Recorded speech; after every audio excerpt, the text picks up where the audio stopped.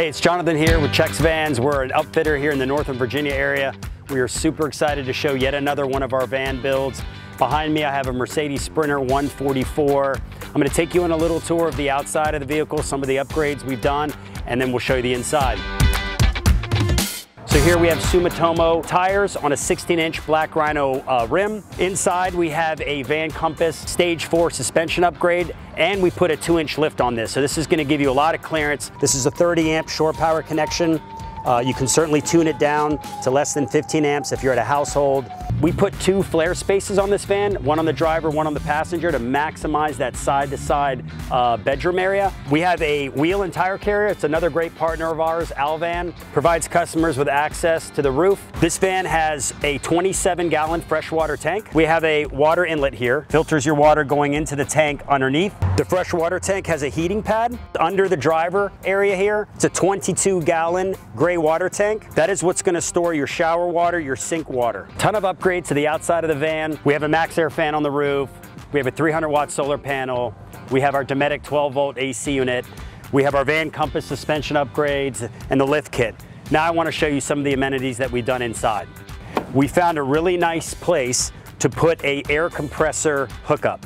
This is an air, ARB air compressor on a switch that is built into the factory plate on the passenger door. Hit the switch, and you can blow your van out. You can pump your tires on your bikes up, or if you were to head out onto the beach and wanted to deflate your tires and then come back from the beach and inflate your tires, you have an immediate way to do that right here from your van. All right, so we're super excited to show you the inside of this van. It is built on the 144 chassis, and we've done some really innovative things to maximize the space. So let's take a look.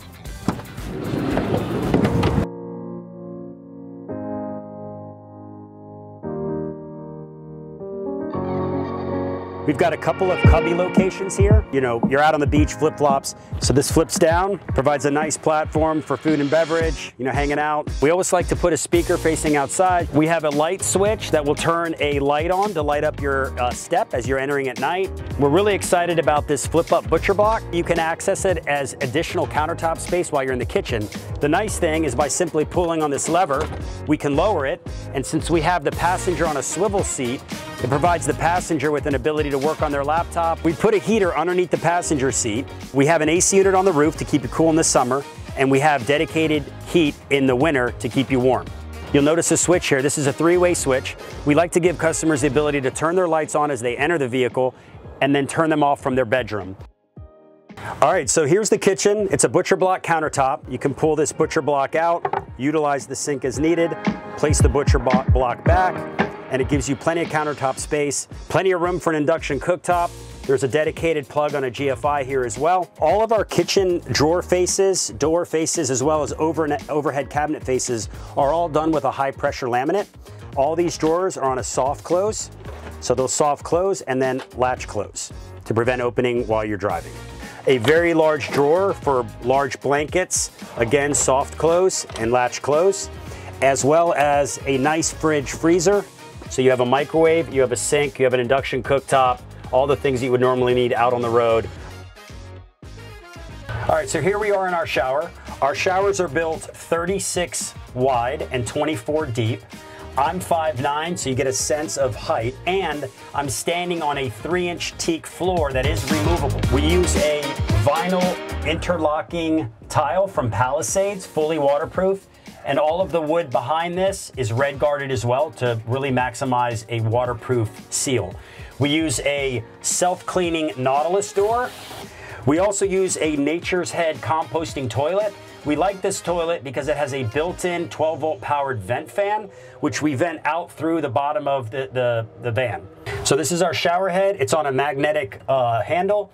So these flip down to hang a towel and then when they're not in use, they simply flip up out of the way. This is a high bed fixed configuration versus a dinette or other options. We did this again so that we could house large items in the garage such as mountain bikes.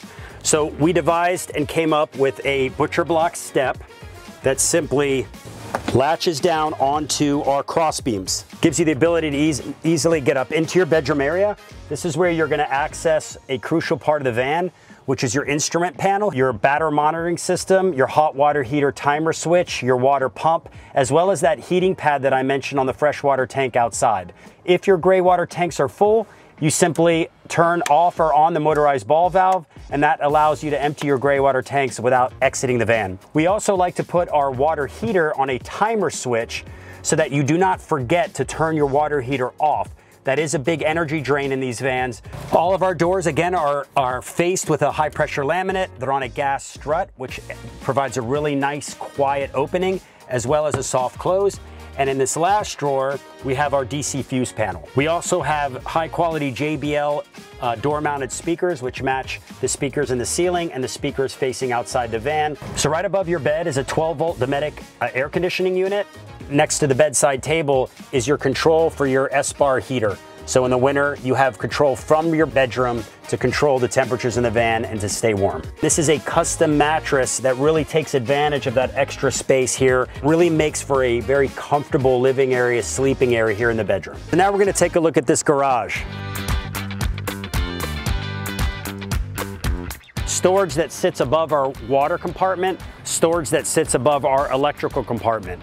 In this particular van, we also put in a pull-out tray and slides out of way for ease of use. So if you're at the beach or went on a mountain bike ride, you wanna rinse some things off, you can simply push this outdoor shower in and you can rinse off your feet or take an outdoor shower, rinse off your bikes. We have a custom made cubby here, great for this shower hose eight gallon isotherm water heater that lives behind this cubby, a Shurflo water pump, a water accumulator to keep pressure in the lines, as well as a full hot and cold set of manifolds.